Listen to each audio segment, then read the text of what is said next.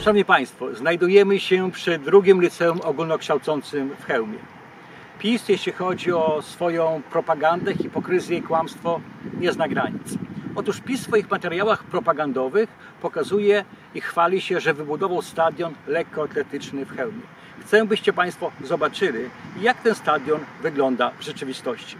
Porośnięta łąka, nawet de facto niewykoszona, a to według PiSu jest stadion lekkoatletyczny. Więc zapraszamy władze PiSu na czele z Jarosławem Kaczyńskim, niech zrobią przebieżkę. Ja będę sędziową.